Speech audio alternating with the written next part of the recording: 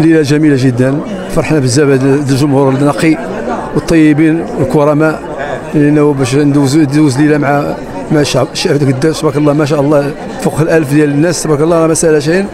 وكانت ليلة في المستوى صراحة. يعني وكنشكر الفنانين اللي جاوا بحال سي سعيد بحال سي آه، مولاي الشيخ ديالنا الثاني وهذا الشيء الحمد لله كان مزيان. غادي السلام عليكم. معكم أحمد برهون صاحب شركة R Designer المكلف على كل ما كيتعلق الاشهار والإعلان. بالنسبة للحفل البهيج اللي طبعا كيقوم به النسخة الثالثة اندلسيات الحمد لله كان معنا هذا الفنانين الكبارين آه، عبد الرحمن السويري وعبد السلام آه، السفياني وطبعا ما ننساوش آه، السي محمد الأمين التمسماني وطبعا بالق- السي سعيد بالقاضي الحمد لله يا ربي يعني كان كما كتشوفين الحفل كان ناجح 100% عرس كبير أندلسي فخم كاز المرة الثالثة والحمد لله يا ربي. طبعا غادي نكونوا واقفين إن شاء الله يا ربي على قدم وساق باش نحققوا النسخة الرابعة إن شاء الله بإذن الله.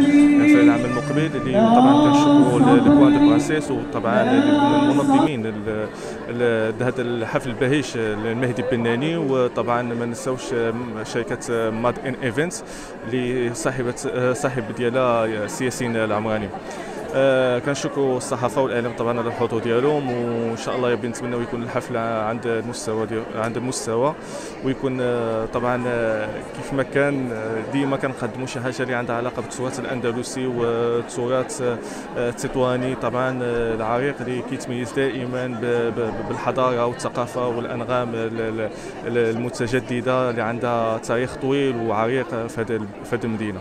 وشكرا طبعا.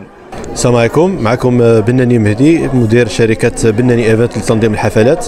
اليوم إن شاء الله عندنا أندلسية تطوان آه، بالنسخة الثالثة. اللي إن شاء الله تقام بخيمة الصدوقي والحمد لله كنشوفوا أنه الناس ديال الساكنة ديال تطوان كيزوروا وكيحبوا هاد هاد النوع من التراث. وهذا الشيء اللي كيشجع الشركة ديالنا أنها تزيد تطور وتشجع في إشعاع هذا العمل وهذا الطرب الأندلسي في مدينة تطوان.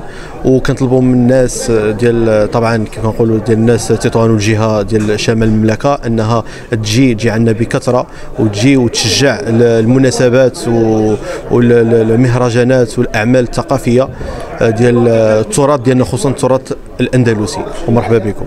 شكرا